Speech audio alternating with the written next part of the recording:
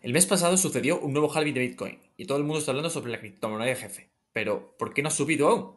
¿Al final no ha valido para nada el deseado halving? Antes de nada, vamos a explicar qué es el halving. Para quien no lo sepa, el halving es un proceso relacionado con la minería de Bitcoin.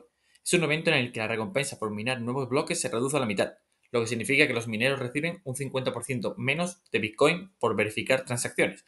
Y este, a su vez, pues se hace más valioso. Históricamente, la reducción de oferta de Bitcoin a la mitad tras un halving viene seguido de una subida en el precio de la criptomoneda. El problema es que en este halving Bitcoin es más conocido que nunca y los inversores han estado comprando Bitcoin alentados por una supuesta subida segura de la criptomoneda. ¿Y qué ocurre en el mercado cuando todo el mundo cree que sabe lo que va a pasar? Exacto, que el mercado hace lo contrario. Sería muy extraño que cuando todo el mundo espera una subida de Bitcoin o de lo que sea, esta se produzca. A ver, aunque la idea sigue siendo la misma, el precio de Bitcoin debería de subir porque ahora es el doble de difícil de minar y la oferta se reduce a la mitad, por lo que es más valioso, por lo que debería de subir a largo plazo. Pero a corto plazo es cierto que podríamos encontrarnos ante un escenario sin precedentes, al ser una subida muy esperada.